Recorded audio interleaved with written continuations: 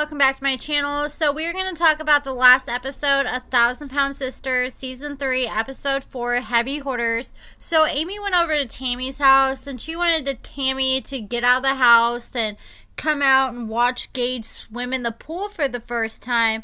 And Amy asked Tammy, what did Chris and Misty come over for and talked to her about the other day. And Tammy told Amy they're letting her know that they're aware of what was going on online with her boyfriend and they knew all the rumors going around about her boyfriend. And Amy was like, What are you talking about? And Tammy explained that her boyfriend Philip has a fetish for big people. That's the rumor going around but Tammy says that's not the truth. And Amy asked Tammy what did she like so much about this Philip guy, and Tammy said everything. She liked the fact she could sit there and talk to him on the phone for hours, and he didn't jump off talking about sex. He told Tammy he wanted to better her life and he wanted to build a life and foundation with Tammy before they got serious.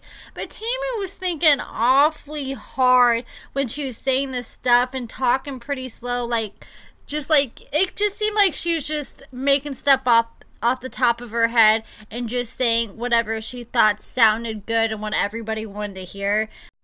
And Tammy said that her and Philip have even talked about getting married, but they haven't made no set plans. And Amy's frustrated because Tammy's so focused on this guy instead of getting healthy. And you can't be in a relationship if you're six feet under. And that's the road Tammy's heading down right now. Tammy's one sausage roll away from a heart attack. And she has to start taking her life more serious because she's running out of time, precious, valuable time.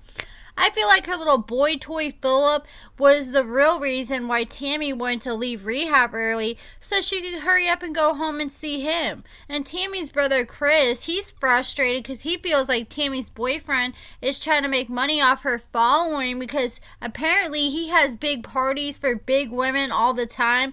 And Chris said the only bad thing with Tammy is she wears her heart on her sleeve. So anybody who gives her any little bit of attention, she falls head over heels in love with and hell has no fury like a woman in love. So Chris feels like Amy is starting to have what Tammy wants desperately, and Tammy's starting to get jealous, and she can either choose to get healthy and better her life or choose to get upset and keep spiraling. But if she goes that route, the doctor only gave her four or five more years tops to live. At this point, Tammy could be here today and gone tomorrow, especially with the fact she had a life threatening crisis a few weeks ago and was hospitalized and put on life support.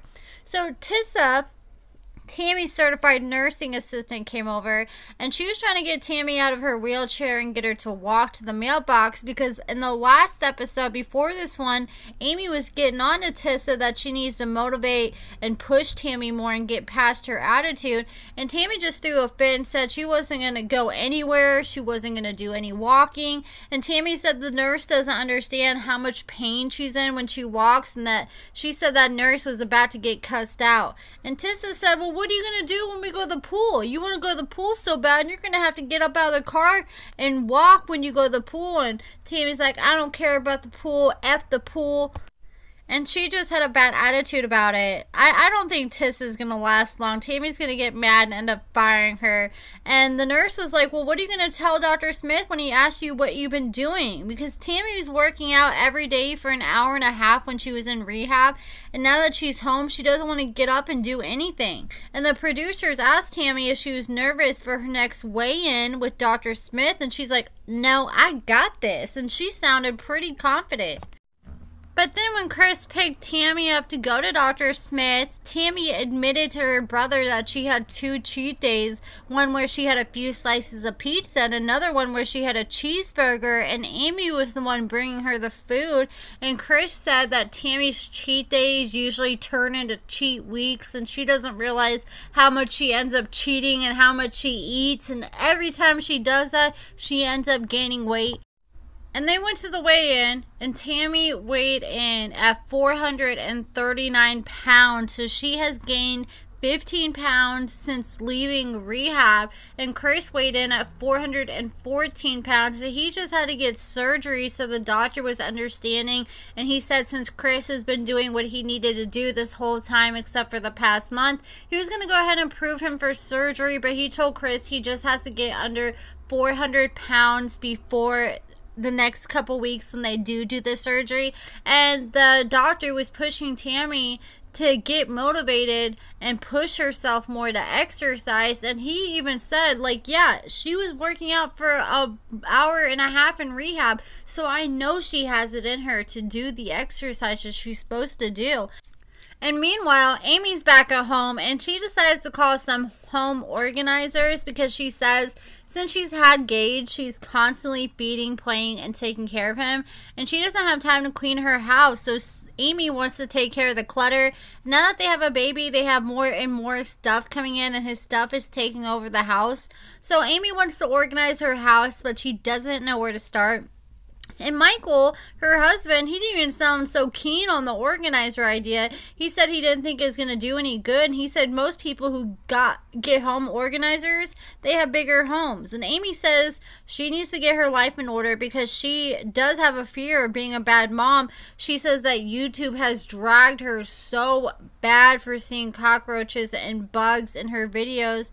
And I feel like low key, the producers probably offered to pay for a home organizer because I know you guys saw all the cockroaches in the house while they were filming just that episode. Even TLC was being messy and zooming in on the roach and blurring out Amy. Did you guys notice that?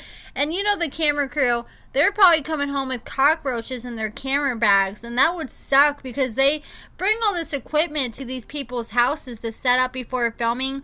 I talked to a few people on these reality shows and it typically takes them three hours every morning just to set everything up and three hours to take everything down. And i remember i went to summer camp one day one year and when i came home my mom was like make sure you open your suitcase in the or outside and I forgot and I opened it in the garage. My mom freaked out because a cockroach popped out and thank God I was able to throw it outside after that before any more popped out. But it was so nasty and I just get the heebie jeebies when it comes to bugs.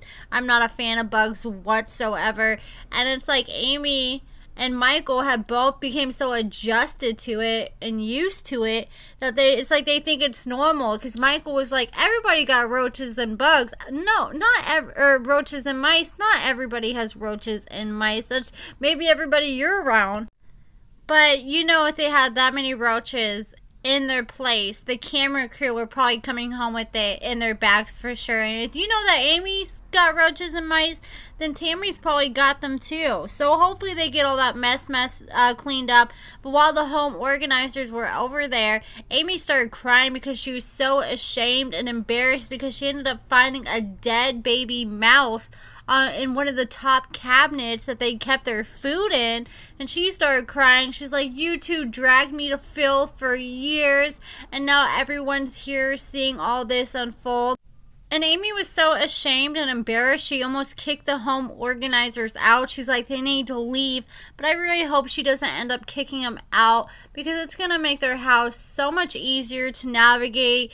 It's just like a clean home and just living more minimalistic and getting rid of all the clutter is going to make your life so much peaceful and so much happier. I've been doing a lot of spring cleaning myself, and it's just crazy how much that can affect your mental health in the worst way having a cluttered house. And Amy said that she comes from a whole family of hoarders. She's not she doesn't know how to fold clothes. She wasn't taught how the proper way to clean a house. And I thought it was funny because she's like, she was trying to blame it on being blind. She's like, you know what? I do have excuse. I'm blind, so I couldn't tell how dirty my house was. And those home organizers are expensive. I remember I ended up having my daughter two months early and I ended up having a emergency C-section to where like I literally couldn't get off the couch and I tried to look into home organizers and it was like $300 an hour and there's no way in hell I could afford that. But the whole thing is they can get your house all organized and up to par, but you got to continue to take care of it because if they organize it and you keep doing things the way you're doing, here in a couple weeks or a month, you're going to be back to how your house was before the organizers came. But that's it for this video. Let me know your thoughts about everything in the comments below. Make sure you give this video a thumbs up, subscribe, and thank you so much for watching.